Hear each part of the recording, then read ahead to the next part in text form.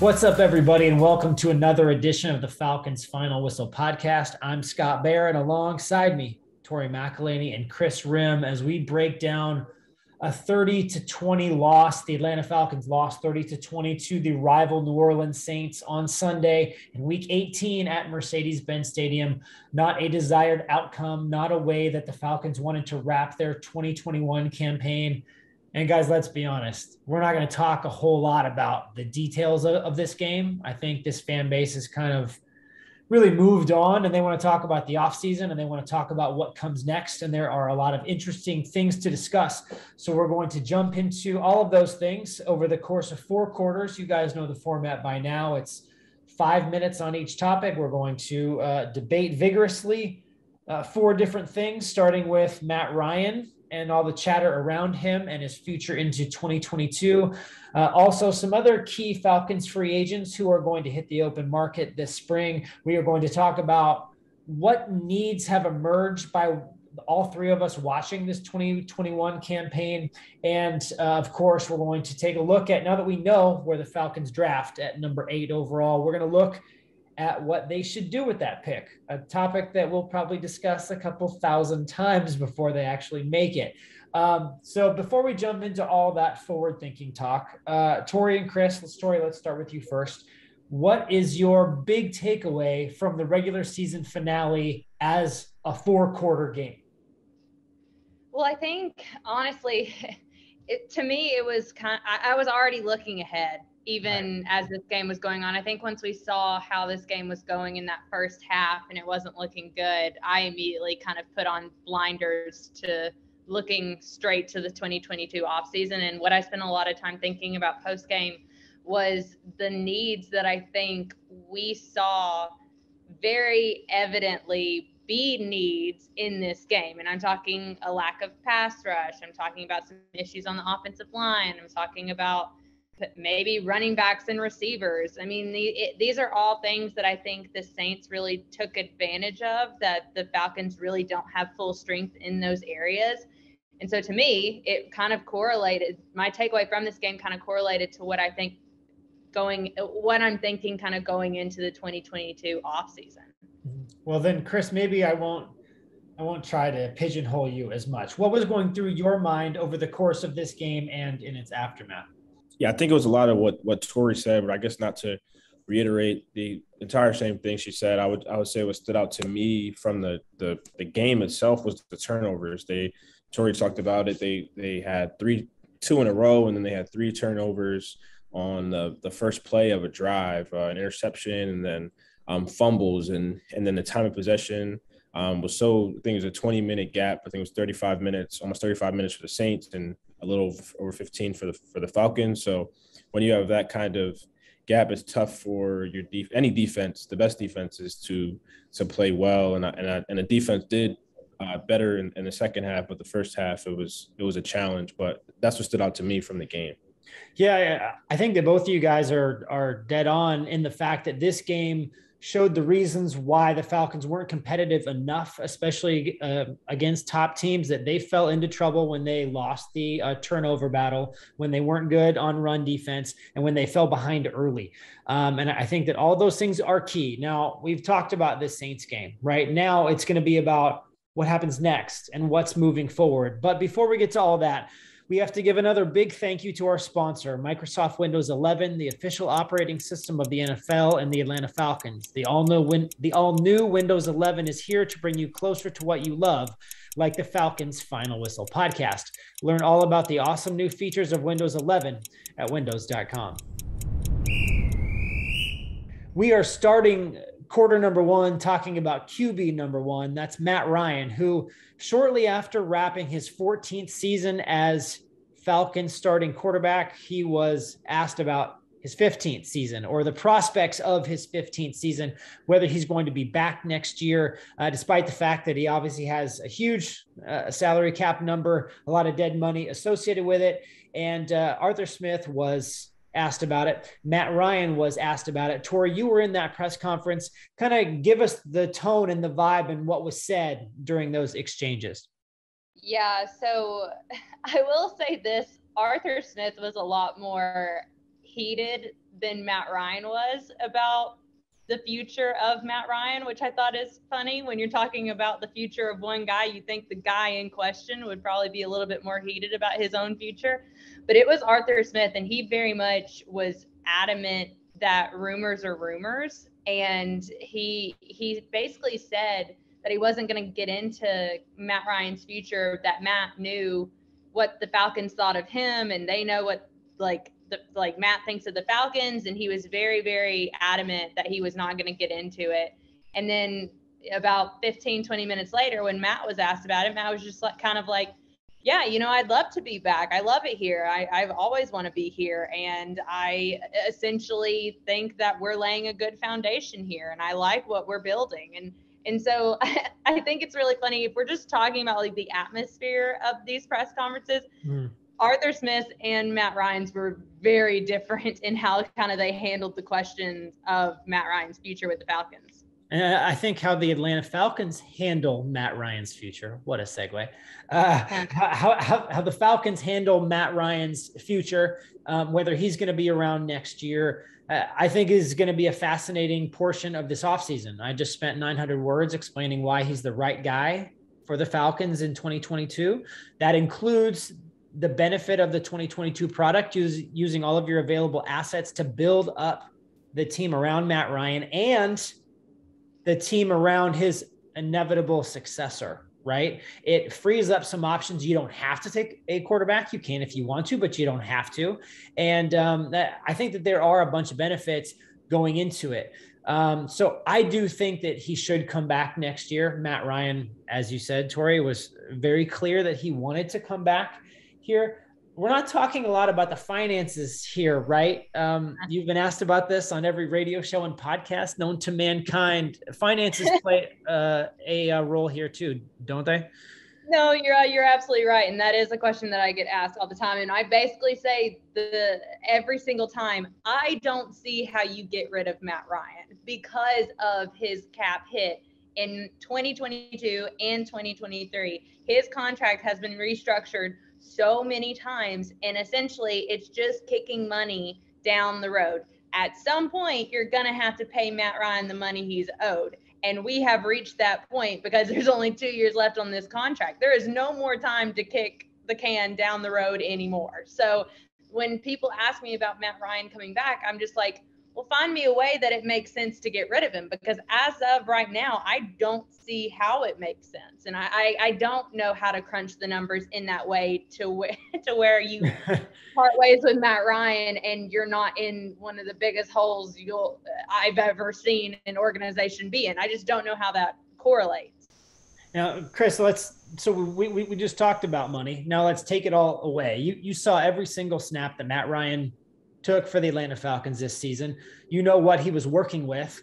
What were your impressions of this season? And uh, um, I hate to even ask it this way, but I will anyway. Uh, you know, do you think that he still got it at this point in his career? Yeah, yeah, I, th- I think he, I think he, he still has it. I think, uh, you know, this season was a lot in terms of the uh, losing, losing, well, losing Julio and then losing Calvin, and then um, trying to build a relationship with Kyle and him kind of becoming that number one option, and then Russ being out, um, Hayden being out. You know, I think Lee Smith caught nine passes this year.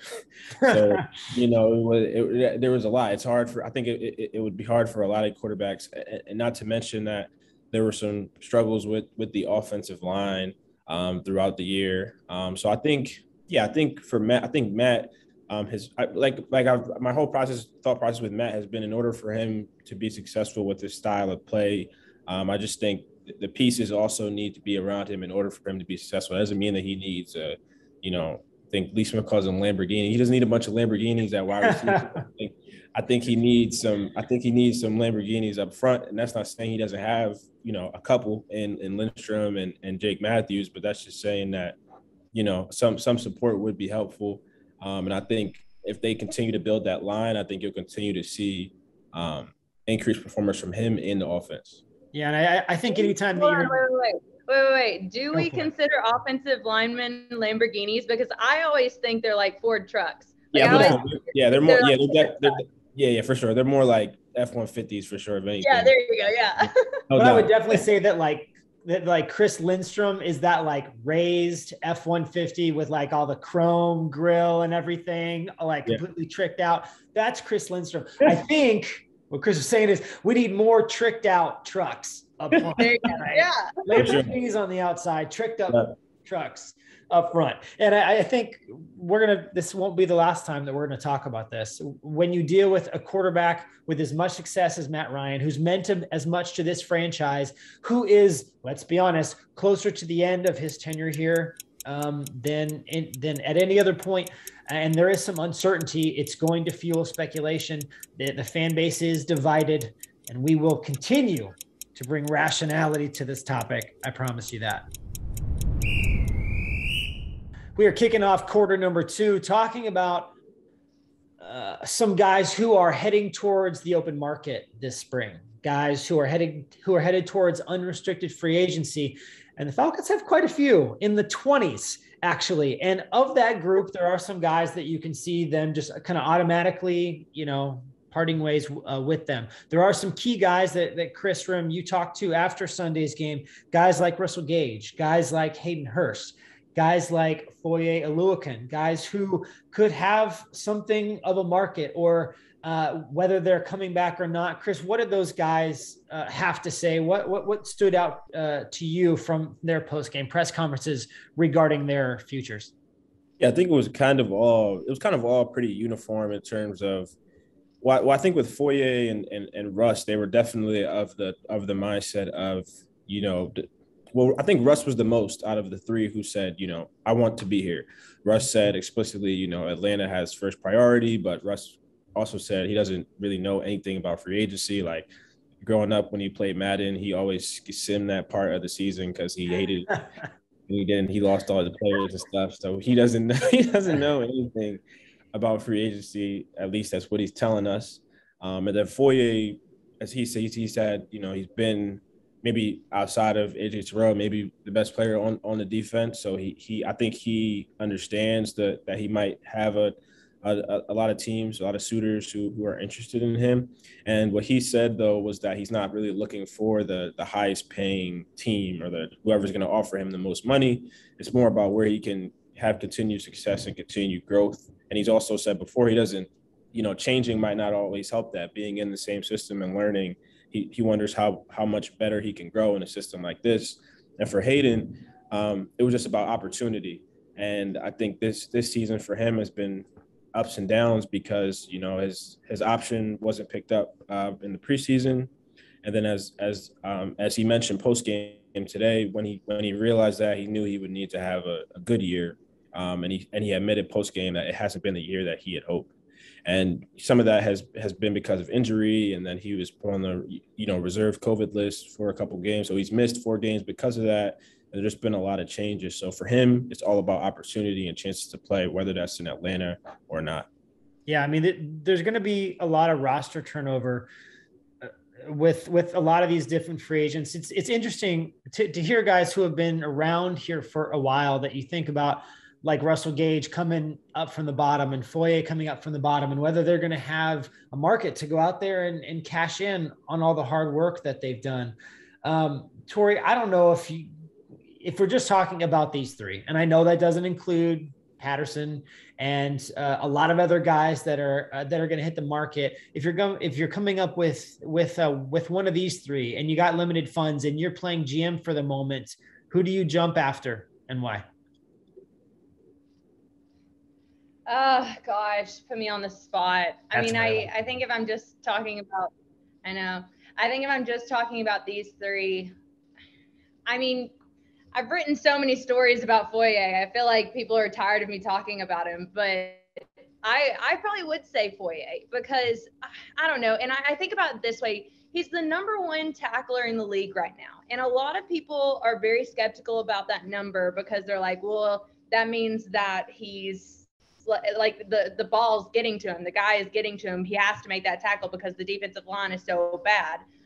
And I'm like, yeah, that that's probably all well and true. Like, but think about it if he wasn't there. Think about it if he didn't have those 192 tackles, where the Falcons defense would be if he wasn't out there. And I think uh, another thing, another part of his game is that like he's this Mike linebacker that is very, very important to Dean Pees' scheme and just being the guy to make the call across the defense. And the fact that you have somebody that Dean very much trusts in Foye able to do that and take on that role and, and, to do it well and be productive in that role, to not have to have someone else come in and relearn the scheme and how Dean wants it and how he wants the calls coming in and everything like that. I mean, I think that goes a long way too. So for me, I, I'm saying like pull what money you need to to to resign Foye and keep him here. I really think it's going to be fascinating because everybody who's listening to this podcast knows that the Falcons don't have mountains of salary cap space available. They can't just like toss hundreds at people everywhere that they go. Terry's not just slapping it around necessarily. He just doesn't have that yet. Uh, so I think it'll be interesting to see uh, how they do with the funds that they have and how they prioritize guys. I, I if we're just talking, do you want Foye back? Yeah, you do. Do you want one of the best uh, third down targets in the NFL back? Of course you do. Do you want a complementary tight end? Um, of course you do, but it's just a matter of what you can afford, what the market is. There are so many factors here that I, I think it's going to be fascinating, um, especially for for like football nerds like us, right? Because if you look at teams with tons of cap space and they go sign A-list free agents, okay, and that's exciting on the first day of free agency. But how can the Falcons maximize the funds that they do have to get the upgrades that are required? Um, I think all those things are going to be interesting as they move forward, and we eventually see if this was the last game in a Falcons uniform for Russ, for Foye, for Hayden, for uh, a number of popular guys who have been representing Atlanta well in recent seasons going down to quarter number three, talking about what the Falcons need, where they need to upgrade the most. Now, there's a lot of holes, probably more than they can address over the course of one offseason, considering uh, their their salary cap constraints that we have been talking about. Tori, you wrote a, a, a priority list, a checklist as it stands right now as we enter the offseason. Uh, what was your number one? What kind of went into your thinking uh, when it came to making that list? Two words pass rush. Okay. I, cannot, I cannot stress this enough that the Falcons have to develop a pass rush and they have to do it in multiple ways. I believe they have to do it through the draft and through free agency. I think this is going to be a complete overhaul. I think it needs to be a complete overhaul because, and it, you know, we can look at numbers all day long, but the fact of the matter is, the reality is, the Falcons had the worst pass rush in the NFL in 2021. Period. There were individuals with more sacks than the entire Falcons defense had. That is unacceptable. Even Dean Pees was talking about it this week when he was like, "We have to develop a pass rush. We just straight up need more." And he was asked, "How do you do that?" And he was like, "Well, it can be through experience, but it can also be through getting guys who have this God-given talent to go out there and rush the passer without you know a blitz being called or anything or, or applying a certain pressure. I mean, they just can go out and beat their guy. That's what the Falcons need. So in terms of priorities, there will be nothing, and I I'm very passionate about this. There will be nothing that I will put ahead of pass rush this offseason. They have got to get a pass rush, and I will die on this hill. All right, I'm done the Falcons played. I know sacks aren't a be all end all, right? But but but but dot dot dot. The Falcons played 17 games this year. They had 17 sacks. Uh, what? That that does not compute to me. So, Kris Rhim, if if pass rush was number one on your priority list, if you were making one, uh, if it is, what's your number two? If it wasn't, what's your number one? Uh, no, I would say pass rush would be the number one. And I think also, like Tori said, Dean said that this week that they need that. I also think if there's a pass rush or or even a, another guy next to Grady. I think Grady looks a lot different, and Grady looks and and Grady's numbers look a lot different. Um, you know, this year his numbers didn't look as good as they have because uh, because of that.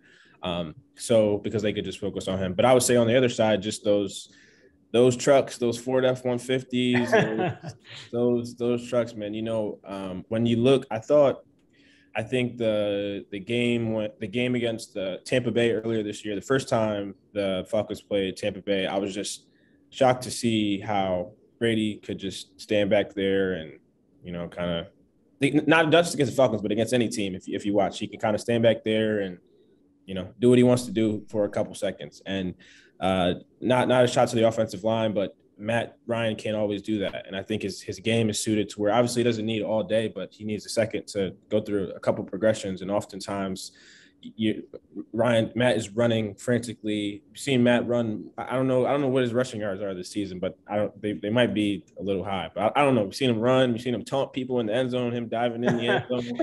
um, Matt's been running more than than I I, I guess I remember watching the Falcons, but I, I really think that this team would benefit on both sides in the trenches from just improving their offensive line and defensive line. So I think those are the, the, the two things that they need to upgrade down there. Some more F one fifties, like Scott said, tricked out.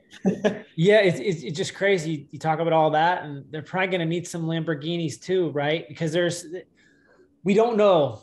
The one thing that we know is that we don't know what's what Calvin Ridley's future holds, right? Could be here, could not be here. We don't know. Russ Gage could find a great market for himself. He could be gone, and they and uh, Cordarrelle Patterson could be gone, and they and, and they could have to refit their, their their skill positions as well. So I, I think there's, but Hold nobody on, can dispute. Nobody can dispute that Tori's right. Right, and I'll, I will add this about the wide receivers. If they went all out today and allowed everybody who's a free agent in 2022 to walk. The only people who would be in the wide receiver room would be Calvin Ridley and Frank Darby. Wow. yeah. Yeah. Okay. Everybody else is a, is a free agent in 2022.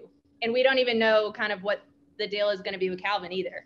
Right. So there's there uh, there's a lot to work on. Uh, there are a lot of needs, and uh, I think that uh, Terry Fontenot and Kyle Smith and the entire front office um, that, that there's a lot of different ways that they can upgrade this roster. Uh, they got to hit right in free agency. And of course, the NFL draft, which we're getting to coming up next.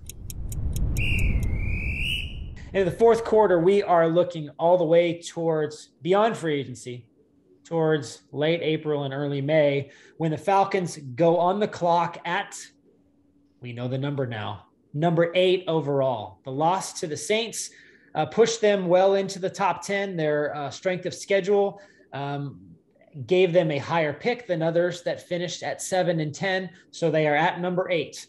That gives them a lot of options with what to do with number eight. You all are going to talk about this at bars around your basement pub table uh, over the course of the next four months. It's going to be fascinating to see where they go with this.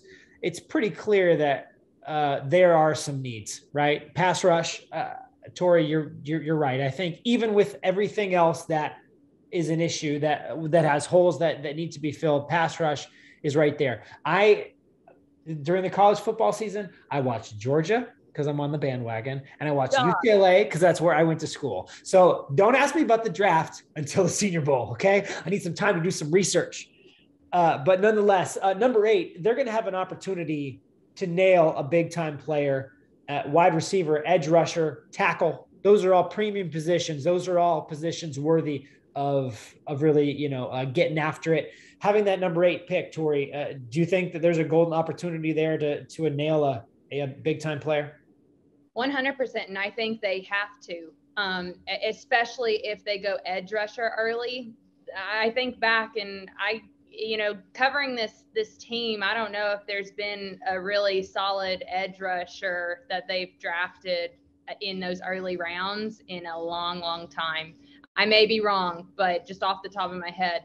So if they go, I mean, and then also I think about it too. If they go offensive line and they go grab a tackle or a guard, uh, they got to hit on that too. You have three first rounders on the offensive line right now in Jake Matthews, Chris Lindstrom, and Kaleb McGary.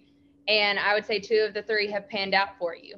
And I I think you have whatever direction you go, you just have to hit on this first round pick. It can't be a pick that doesn't pan out. I know that's putting putting a lot of pressure, on this organization and the people making the decisions, but I think they're putting just as much pressure on themselves. I just think back to some, some decisions and some first round picks that in maybe the past 10 years didn't work out for the Falcons and how I feel like we're still feeling the ramifications of those picks not working out even today. Um, so I, I, that pick is so, so very important. And I think you've got to get someone who can come in and be a difference maker immediately. Like that's what we saw Kyle Pitts be in 2021. We saw him come in and be a difference maker immediately, a record breaker immediately. That's what the Falcons have to strive to find again in 2022. Yeah, and uh, you brought up a great point there. When it it uh, it must be it's difficult when uh, when you invest a first round pick in somebody that, that doesn't pan out, we know that panning out is, I don't know, 50% or something like that. But, but, but you look at it to have to reinvest in offensive tackle after you did that two years ago is difficult. You talk about yeah. um, that they invested in edge rushers in 2015 with Vic Beasley, Vic Beasley, 2017 with Takk McKinley. Those did not work out as they would have liked. Um, 2017 for, for Takk, that's right. He'd still be in his prime. Obviously, edge rusher still uh, a, a, major need. They have hit on wide receivers with Julio and Calvin, obviously, uh, and Kyle Pitts, who's an incredible skill player. They hit on uh, AJ uh, last year as well. So you know, so you've got to hit.